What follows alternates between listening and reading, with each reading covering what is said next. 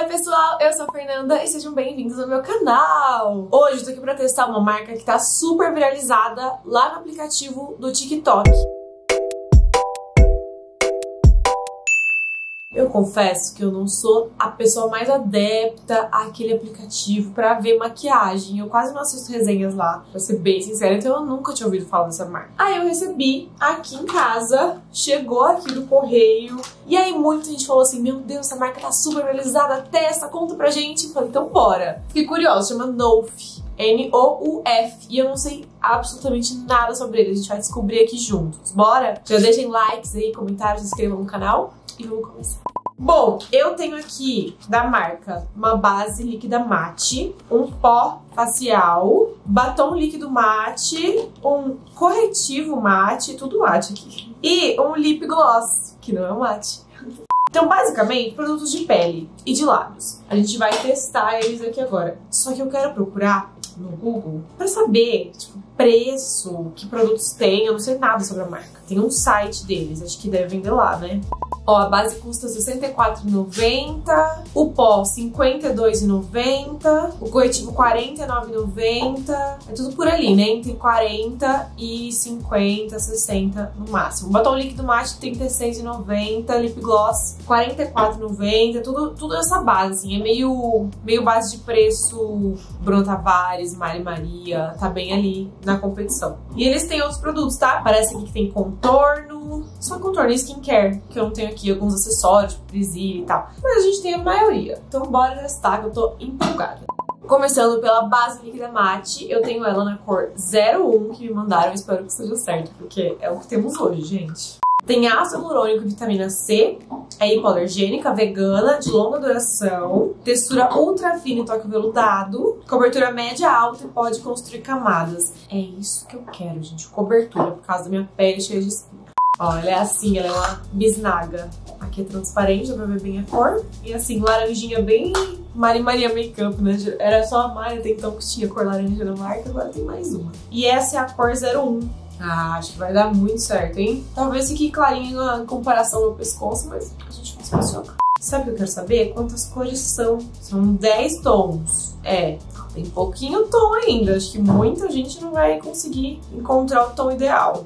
Uh, ela realmente tá cobrindo bem aqui aparentemente. É uma base bem fininha mesmo. Eu achei que ela fosse ser mais grossa. Como ela promete alta cobertura e efeito mate mas geralmente as bases são um pouco mais grossinhas na hora de aplicar. Ela é bem fina. Tinha cobertura média. Dá pra ver ainda as espinhas aqui. Não cobriu 100%, mas é uma boa cobertura ali. Uma média alta, com certeza. Ó, e deixou leve. Vamos ver se ela vai secar muito e ressecar a pele. Mas por enquanto, gostei. Pronto, apliquei no rosto todo pra gente ver. Eu achei ela bem bonita. Não achei que ela super resseca a pele. Inclusive, eu achei ela muito parecida, vou ser bem sincera, com a base da Karen Bakini nova. Eu não testei aqui no YouTube ainda, mas testei lá no Instagram. Tem um vídeo pra vocês verem se quiserem. Se quiserem um vídeo completo aqui também posso fazer. Mas é uma textura parecida. Tem um efeito parecido na pele. Eu acho que tanto de cobertura, muito próximo. É... Ela é bem fininha, as duas são bem fininhas, espalham bem, ficam bonitas. Essa aqui fica um pouco mais seca do que a da Karen. A da Karen ainda deixa um um pouco maior de pele natural, sabe? Essa aqui é mais mate. Mas no geral elas são bem parecidas. Por enquanto tô gostando. Vamos pegar um corretivo pra gente cobrir o que falta cobrir agora. Este aqui é o corretivo da Nouf. Eu tenho a cor 02. Ih, não era pra eu ter a cor 01, não? E são só seis tons. Ixi sei lá, hein? É muito pouco tom pra uma marca mesmo. E a 2 vai ser escura pra base 1. Será? Ah, até que não. Será que é uma, tipo, branca? Pode ser, né? É bem fininho pela textura nem parece que vai cobrir. Ó, acho que o tom deu certo, vai? Se misturou bem. Eu só não entendi por que a marca tá tão hypada no TikTok, porque geralmente quando a marca lança poucos tons de produto assim, não é um produto que as pessoas gostam, falam sobre e querem, sabe, bombar a marca. Eu não entendi. Cobre olheiras imperfeições, sem craquelar, resistente a água e suor, não marca linhas de expressão, é vegano, de longa duração e hipoalergênico. E ela é feita para todos os tipos de pele, inclusive maduras e extra secas secas.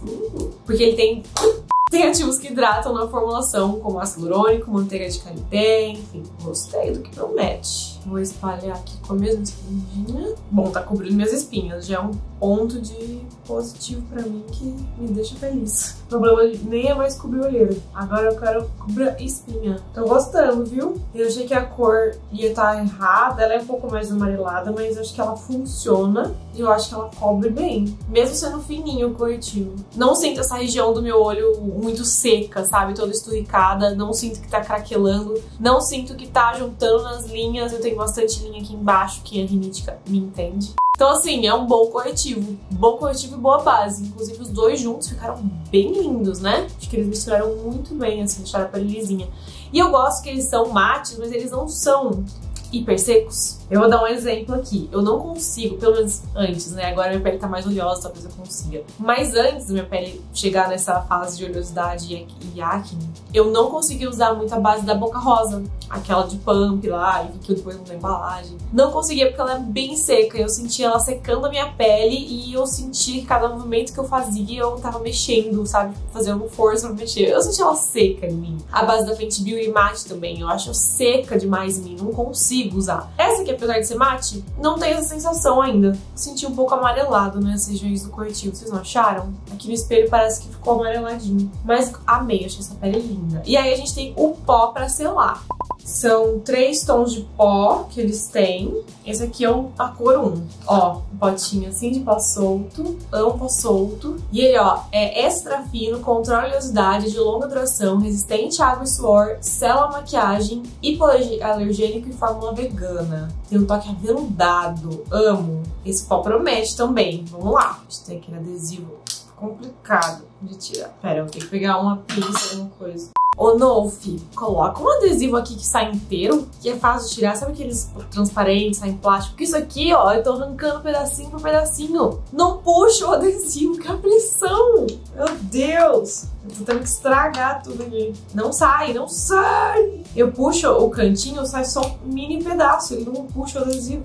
É oficial, eu desisti, consegui abrir um pouquinho.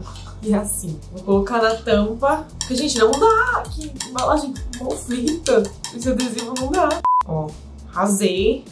Deixa eu consertar aqui embaixo, ficar tudo lisinho antes de aplicar pó. Veio com a esponjinha, aplicar só desse lado. Eu sinto que não precisa de pó essa pele com, com a base e o corretivo. Eu sinto que eles já estão bem sequinhos. Mas como aqui em volta do meu olho sempre é uma região que começa a juntar, acumular, enfim, ficar com um aspecto ruim sem pó, não existe a possibilidade de eu não selar. Mas eu acho que eu vou usar o pó só aqui. Porque assim, na testa eu já tô sentindo bem sequinho, no nariz, na bochecha, tudo, sabe? tô sentindo ela bem sequinha, não precisa. Mas que esse pó é fininho e é bom, ele é. Bem selado. Não achei que ele adicionou cor aqui, não achei nada disso que ele escureceu. E ele é muito, muito fino. Muito mesmo, meio veludadinho, assim, uma areia gostosinha de tocar. Acho que ele deixa bem bonito esse, por, por esse efeito mesmo, aveludado. É um bom pó, acho que esse aqui é o produto que eu consegui conseguir abrir ele inteiro. É o produto, por enquanto, que eu mais vou usar dessa marca. Gostei. Porque até porque ele vai em todos os todas as peles, né? Além da se a pele não estiver toda sequinha assim e precisa selar a pele toda, acho que esse aqui vai ser um bom pó pra isso.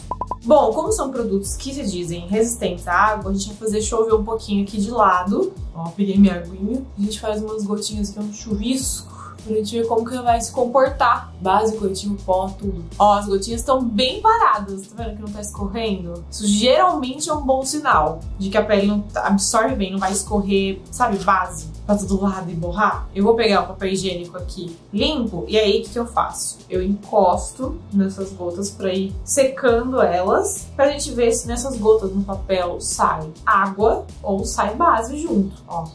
Só água, não sai base junto com as gotas mas tá marcado aqui onde ela passou. Vou esperar um tempo pra ela secar pra gente ver se vai sumir esses rastros aqui. Pra gente ver, a gente ver se vai uniformizar de volta. Porque ela tem que voltar ao normal se ela é resistente. Enquanto isso, a gente vai fazendo o quê? Arrancando base pó da boca, da mão. Eu só sei maquiar com um lencinho demaquilante do meu lado.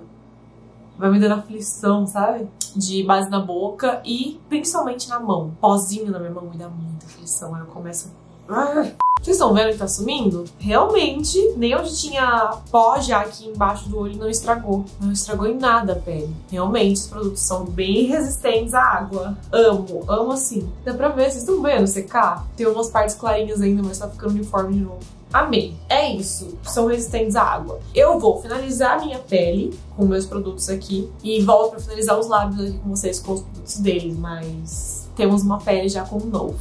Pronto, finalizei minha pele e tá belíssima. Tá bem mate, né? Tá bem matizada aqui, não tô vendo brilho nesse lugar, nessa cara, mas tá belíssima. Eu amei, eu achei que é um, um trio assim, show pra pele lisinha, coberta, sequinha o, o suficiente. e aí, pra gente finalizar os lábios, temos duas opções. Mas como a gente tá tudo seco aqui, eu vou optar pelo gloss. Mas vamos ver os dois, né? Esse aqui é o batom líquido mate que eu tenho aqui na cor Floripa. É um nude rosado, bem bonito, ó, bem bonito. E o outro é o gloss. Eu, eu não sei só porque, porque só ele tem uma embalagem diferente. O dele é o único que não é laranja. Mas é o lip gloss na cor NF07CR. Tá escrito isso. E é um gloss transparente. Eu acho que a gente vai ter que usar os dois, né? Porque ele é bem brilhinho nada. Ó, só um glowzinho. Então vamos passar um por cima do outro. É isso, vamos ter que testar tudo. Eu tô zero na vibe de batom líquido mate há um tempo já. Faz muito tempo que eu não uso na vida um batom líquido mate. Açaí. Eu tenho preferido muito passar um lápis labial e um gloss só, ou um batom em bala que não seja tão seco. Achei a cor bem linda. Eu tô achando que eu morri um pouco. Tá vendo? Faz tanto tempo que eu desaprendi a passar batom líquido mate. Lindíssimo! Nossa, amei essa cor. Chique, né? E aí eu vou passar o gloss por cima. A única coisa é que eu vou sujar, mas é sobre isso. Nossa, amei o combo labial. Amei. Acho que arrasamos aqui nessa maquiagem com o Nolf, uma nova marca pra gente testar. É, me falaram que tava muito, muito, muito bombada no aplicativo vizinho, aplicativo do TikTok, né? Nem sei quando eu posso falar ou não posso falar o nome de cada rede, mas no TikTok essa marca tá muito bombada. Vi muita gente dizendo que o corretivo é o favorito da vida e tudo mais, então quis muito testar com vocês. Me contem se vocês já conhecem, já testaram, já sabem né, sobre essa marca. Contem aqui nos comentários pra gente compartilhar. E eu vou colocar então na ordem, são cinco produtos, né? Então vou colocar na ordem dos que eu mais gostei aqui. Eu acho que em primeiro lugar o pó com certeza é o que eu vou continuar usando. Ele é muito bom, muito fininho, apesar da embalagem ter me irritado. Em segundo lugar, acho que coloco o corretivo. Apesar de eu achar que a cor 1 seria melhor pra mim, eu achei um corretivo que cobre muito bem, bem fininho, que não vai deixar, sabe, uma textura na pele extra ali, de grossa, enfim. Acho que é um bom corretivo. A base em terceiro, e aí eu coloco os labiais em quarta e quinta, porque, enfim, não é nada, tipo, muito diferente do que a gente já viu de batom de gloss e batom líquido mate, sabe? Então, os produtos de pele me ganharam os três. Eu acho que são boas apostas pra gente começar a prestar atenção, sabe? Uma boa marca pra gente começar a prestar atenção e acompanhar os próximos lançamentos aí. Parece que eles estão vindo com tudo. E eu adorei. Vou ficar um tempo com essa maquiagem agora ao longo do dia e aí eu volto mais tarde pra gente ver como ficou a minha pele, tá? Depois de algumas horas. Oi, voltei aqui depois de umas 6, 7 horas de uso. E eu queria dizer, tô com o celular, tá? Eu sei que não é, a câmera não é a mesma coisa, mas eu queria dizer que a base segue linda. Eu dormi agora à tarde, nem saiu nada, nem borrou nada. Tô bem chocada, só que aqui, ó, essa região começou a ficar um pouquinho mais oleosa aqui, que eu não selei, né? Lembra que eu só selei em volta dos olhos. Então, se eu tivesse passado um pouquinho mais de pó, isso aqui não sairia de jeito nenhum o dia todo. Nossa, eu amei. Acho que vai ser um combinho que eu vou usar bastante, viu? Bom, espero que vocês tenham gostado desse vídeo. O teste foi real. E foi muito bom, eu entendo porque que tá no hype, de certa forma. Apesar de achar que a marca tem coisas a melhorar, como cartela de tons, principalmente, eles estão indo bem, começando com produtos muito bons. Espero que vocês tenham gostado. Deixem muitos likes, comentários, se inscrevam no canal. Um beijo. Até o próximo vídeo. Tchau.